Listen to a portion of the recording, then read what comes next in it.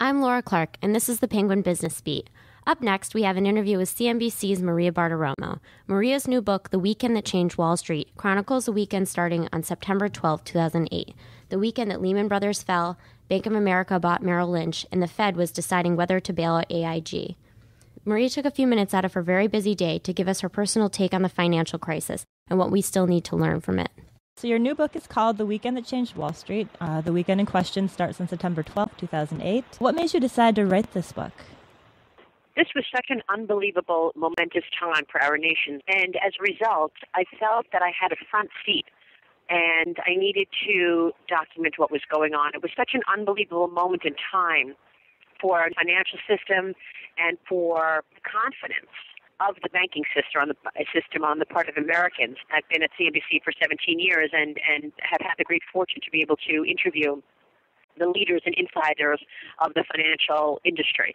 And I think that weekend was very important because the industry and the financial system really did teeter on collapse. So I felt it was a perfect opportunity to take these interviews, talk to people who were really making these decisions to try and figure out what will change and how this happened in the first place. So, from your vantage point, did you think that Lehman was going to survive the weekend? Well, it was really a close call. I mean, you know, I was frantically taking calls from so many people and making calls and emailing and texting uh, during some of the important meetings uh, at the Fed and between uh, executives at Lehman Brothers. And I think, for the most part, people were not sure that Lehman would make it.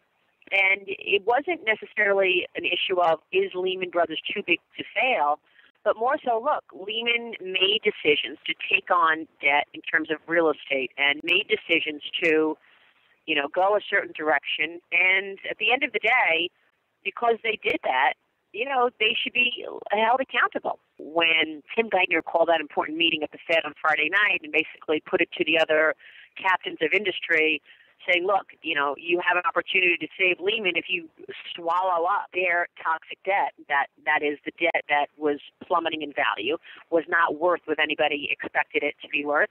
You know, it became clear that these guys already had that kind of toxic debt on their own balance sheet. So why would they take on more? That's when I realized, okay, this is a real possibility that Lehman would go down, and I started to think about what the implications would be. You had people calling throughout the weekend from within the Fed and from Lehman, and it seems like at several points people got choked up while they while they were talking to you. Was this really unusual to you at the time?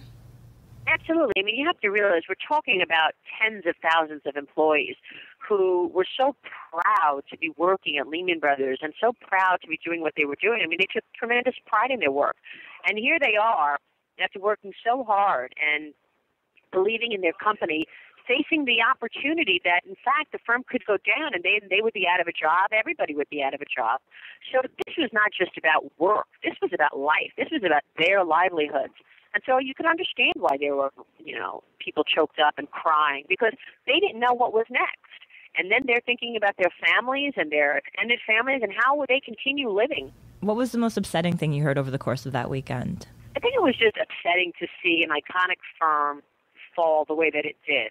I mean, luckily Barclays came in and did acquire a lot of employees, acquired the building, you know. Um, so not everybody was was out, but you know, it was a very very tenuous time in our history, and it was a moment in time when when people came to realize Lehman Brothers may fail, and that's going to impact everybody because everyone is connected.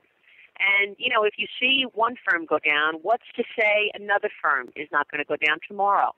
And so it was, you know, that weekend, I think what was important about that meeting at the Fed was for the first time, all the people around the table figured out that they were all impacted by what went on. And, you know, it wasn't just, okay, one of my competitors is down. It's, okay, my competitor is down and I may be next. And I think, you know, it was upsetting all around. It wasn't just one conversation that I had or one situation that I had where I felt like, okay, this is over the top. It was all over the top. It was a critical moment in, in history, and I remember everyone I spoke with said to me, Maria, this time is different. This is not your average sell off. This is not your average downturn.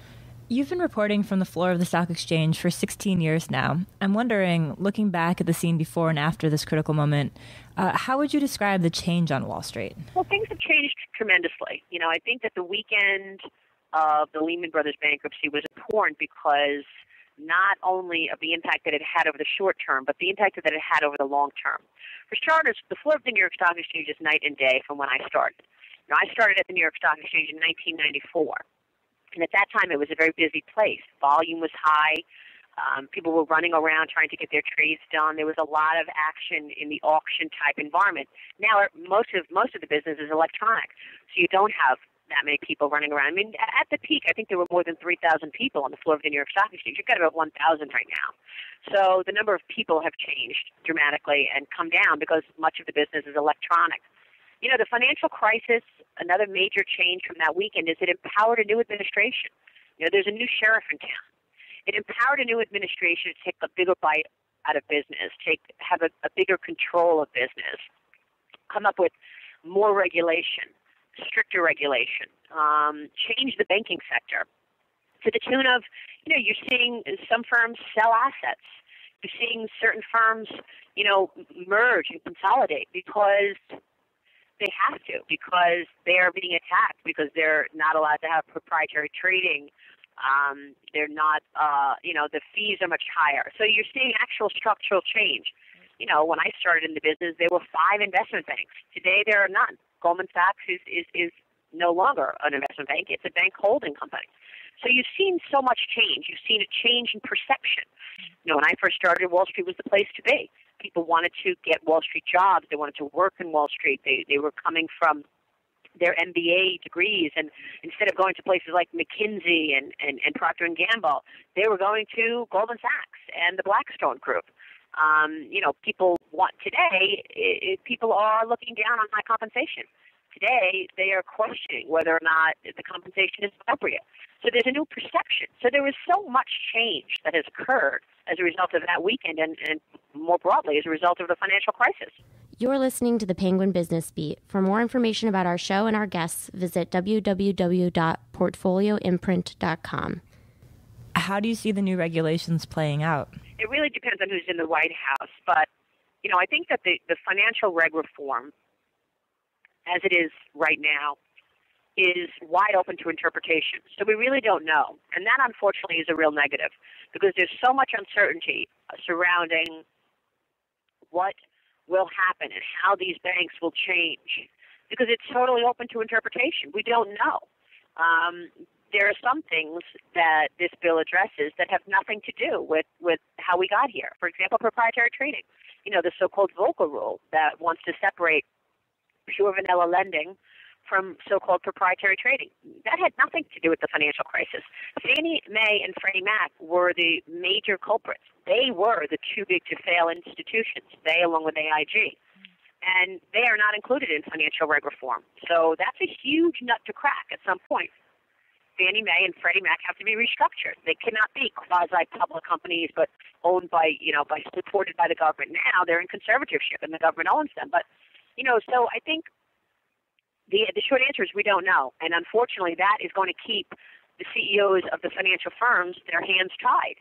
They're not going to be making, you know, big moves. They're not going to be taking risks. They're not going to be adding heads to the payroll until they really understand what their business looks like in the coming years. And so that's why we're probably going to face unemployment for some time to come, and, and a tough economy, which, by the way, is worsening right now. Um, and unfortunately, this is not going to change until we see a change in confidence on the part of business. And we need policies that support business hiring people. And right now, they're talking about higher expenses, higher taxes. They're not going to their necks out and put more people on the payroll if they have to pay for health care, higher expenses there, and, and, and face higher taxes. So that's why we're in a bit of a catch 22 right now. So, what do you think readers of your book need to be looking out for now?